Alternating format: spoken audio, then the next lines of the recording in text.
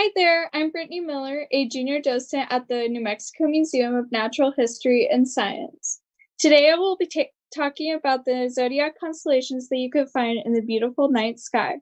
I will be going over the wonderful legends associated with these glorious star patterns and some other interesting information that have to do with each constellation. So sit tight, get comfy, and let's get groovy with the constellations.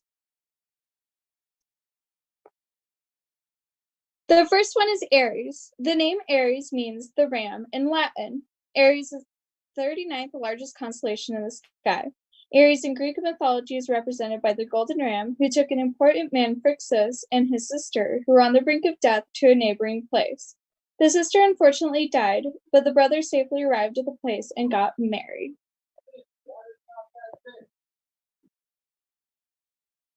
Taurus is a large constellation and one of the oldest ones known. Taurus means bull in Latin. Taurus is the 17th largest constellation in the sky is usually always associated with a bull, with the Greeks, Egyptians, and the Babylonians. The constellation is most popular for Pleiades, or rather the Seven Sisters, and the Hyades, which are the two closest open star clusters to our planet. Gemini is the inseparable constellation. It's seen as two twins holding hands, Castor and Polydeuces. Gemini is the 30th largest constellation in the night sky. One of the stars, Castor, is the 44th brightest star in the sky. It is 51 light years from the sun. And another star, Pollux, is the brightest star in the constellation and the 17th brightest star in the sky. These two stars represent the heads of the twins. Polydeuces saw his brother Castor die before him and asked his bro- father Zeus to put him in the sky to share immortality with his brother. Cancer means the crab in Latin, is the faintest constellation in the zodiac and is the 31st, 31st largest in the sky. The mythology is rather different than our other zodiac constellations.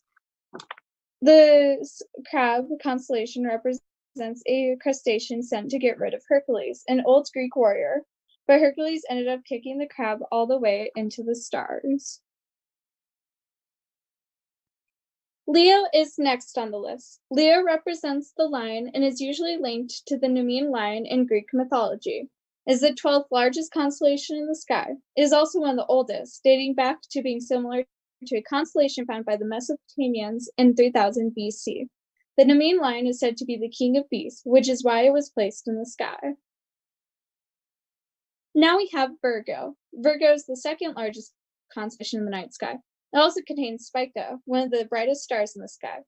The constellation is typically associated with the Greek goddess of justice. She is shown to have angel wings with wheat in her hand, which is marked by Spica.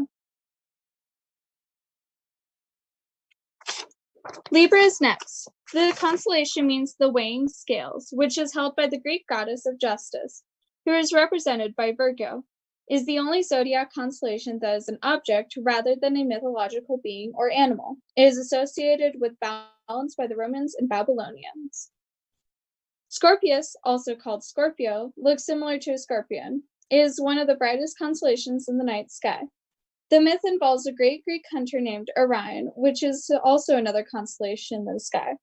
It is said that Orion is fleeing from the mighty scorpion, which killed him long ago. Sagittarius is up next. is the 15th largest constellation in the sky. The constellation represents a centaur, a creature that is half man, half horse, who is shooting an arrow at the Scorpio constellation. Many of the zodiac constellations have meteor showers associated with them, but Sagittarius does not. Capricornus, which is said to be the goat fish, is the second faintest constellation in the zodiac, next to Cancer. Capricornus is associated with Pan, a forest deity by the Greeks. He was placed in the sky by Zeus for doing many great deeds for the other gods.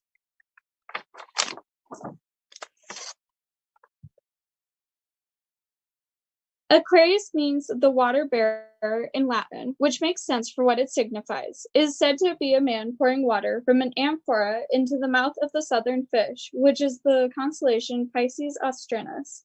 Aquarius is the 10th largest constellation in the sky. Pisces is Latin for the fish. Pisces is from Babylonian origin, who saw it as two fish joined together by cord. The constellation is usually associated with a Roman myth that had to do with Venus and Cupid, who tied themselves together and turned themselves into fish to get away from Typhon. Wow, so much awesome information about some of the constellations in our very own night sky. If you have a particular constellation you want to learn more about, do research it and have fun learning some more. I have one assignment for you all. I would love it if you went outside and checked out the night sky. See if you could spot each of these constellations, or even some others that I didn't mention, like Orion or the Big Dipper. Here's a graph to let you know when and where you can see them. And here's an awesome website where you can see every inch of the sky at different times throughout the year. You can even print it out. Have fun and thank you for checking out this virtual visit.